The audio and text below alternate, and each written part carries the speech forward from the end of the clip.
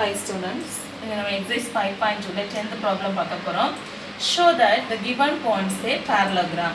So நாலு vertex கொடுத்துருக்காங்க. கொடுத்துட்டு வந்துட்டா இது பாயிண்ட் எல்லாம் சேர்ந்து ஒரு பேரலோகிராமை ஃபார்ம் பண்ணுமா அப்படின்னு சொல்லி சொல்ல சொல்லியிருக்காங்க. ஓகே ஸோ பேரலோகிராம் ஃபார்ம் பண்ணுறதுக்கு நம்ம ஃபஸ்ட்டு ரஃப் டயக்ராம் சும்மா போடுறோம். ஓகே ஸோ இது பேரலோகிராம் தெரியாது. ஆனால் நம்ம என்ன பண்ணுறோம் சும்மா நாலு சைடால் கவர் பண்ணி போடுறோம். ஏ வந்து two point five comma three point five next B ten comma minus four next C two point five comma minus two point five next D minus five comma five so எடுத்துட்டு first என்ன பண்ணணும்னா slope of opposite side கண்டுபிடிப்போம்.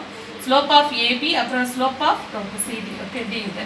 Slope of CD ரெண்டையும் கண்டுபிடிப்போம். ஈக்குவலாக இருக்கான்னு பார்ப்போம் ஓகேயா so first slope formula slope two point தந்தாங்கன்னா formula எழுது y two minus y one by x two minus x one first slope of AB slope of AB equal to this A x one y one எடுத்துக்கோ BA x two y two A one என்ன? இதில் எழுதிக்கலாம். X one y one x two y okay சொல்லாமே y two minus y one அப்போ minus four minus three point five by it's ten minus two point five so minus four minus three இப்படி add பண்ணிடுறேன் three four plus three point five so இப்போ நம்ம எவ்வளோ கிடைக்கும்? Seven point five ரெண்டுமே மைனஸாக இருக்கிறதுனால minus seven point five by ten minus two point ஃபைவ்னா so டேரெக்டாக சொல்லலாம். இல்லை தெரியலைன்னா இப்படி பண்ணிக்கோ. டூ பாயிண்ட் ஃபைவ் ஸோ இங்கே ஜீரோ போட்டுக்கோ.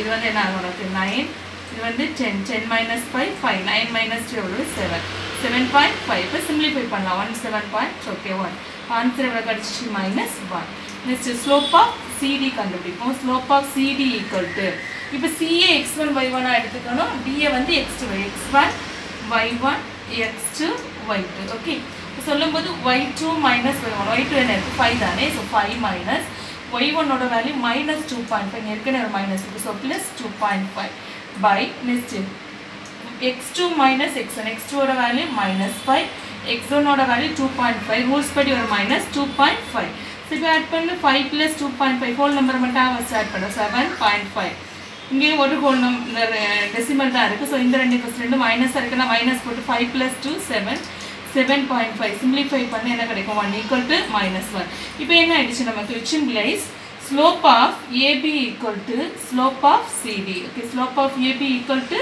slope of CD so அப்போ ஏபியோட ஸ்லோப்பும் சிடியோட ஸ்லோப்பும் நமக்கு ஈக்குவலாக கிடச்சிருக்கு. அப்போ ரெண்டு லைனும் கண்டிப்பாக என்னது? பாருங்கள் ஒன்று சொல்லலாம் therefore AB and CD are parallel AB and CD are parallel okay இப்போ ரெண்டு சைடு பேரல்னு கிடச்சிச்சு. இனி ஆப்போசிட் சைடு இன்னும் ரெண்டு இருக்குல்ல?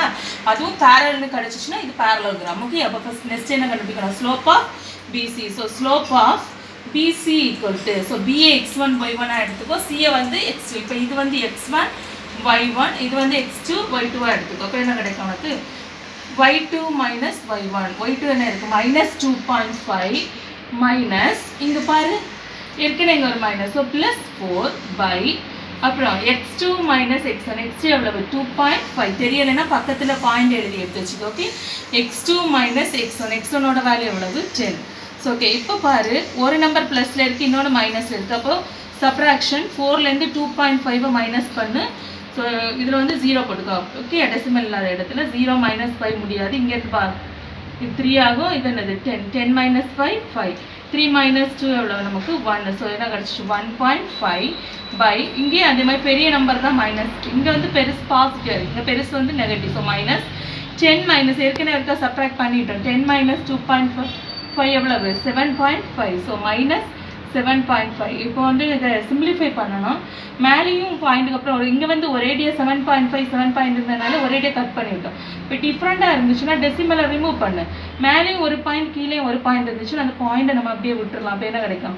Fifteen by minus seventy five ஏன்னா ரெண்டுமே ஈக்குவல் தானே இருக்குது மல்டிப்ளை பை டென் மீனிங் எடுத்துக்கலாம் இப்போ நம்ம சிம்பிளிஃபை பண்ணுறோம் ஃபஸ்ட்டு ஃபைவ் டேபிள் கொடுக்கலாம். இல்லை வந்து என்னது ஃபிஃப்டீனே கொடுக்கலாம். One fifteen is fifteen five fifteen sir seventy five so minus one by five okay இதே மாதிரி அடுத்து நம்ம என்ன கண்டுபிடிக்கலாம்? Slope of AD so slope of AD equal to so A வந்து x one y one D வந்து என்னது? X two y two so A என்ன இருக்கு பாரு? A x one y one கரெக்டாக இதை ரெண்டே அப்படியே எடுத்துக்கோ.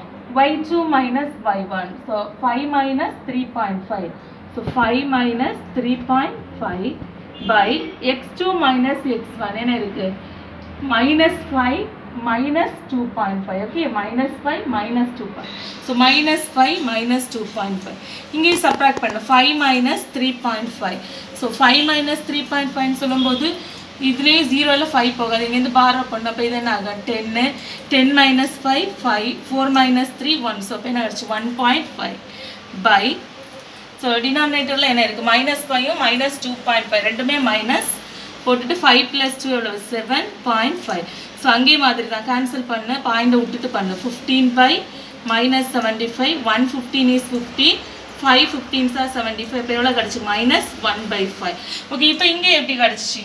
ஸ்லோப் ஆஃப் பிசியும் ஸ்லோப் ஆஃப் ஏடியும் எப்படி இருக்குது ஈக்குவலாக இருக்குது ஓகே ஸோ நம்ம அப்போ சொல்லிடுவோம். இதை.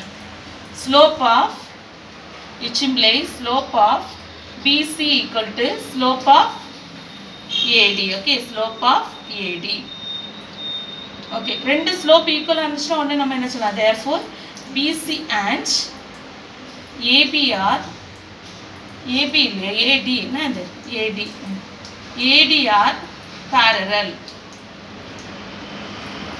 சரி இது வந்து இக்குவேஷன் ஒன் போட்டு வச்சுப்போம். ஓகே இந்த பேரலில் ஒன் இந்த பேரலில் என்னன்னு சொல்லுவோம்? டூன்னு சொல்லுவோம். From one and two from one and two இப்போ நமக்கு என்ன கிடச்சிச்சு? ஆப்போசிட் சைட் பேரல் கிடச்சிருக்கா? ஃபர்ஸ்ட் இக்குவேஷனில் என்ன இருக்குது ஏபி அண்ட் சிடிஆர் பேரல் இந்த ரெண்டு பேரல்லாம் அப்புறம் செகண்ட் இக்குவேஷன் என்ன கிடச்சிருக்கு? பிசி அண்ட் ஏடிஆர் பேரல் அப்போ ரெண்டுமே பேரலாக இருந்துச்சுன்னா therefore ABCD is a parallelogram okay ABCD is a parallelogram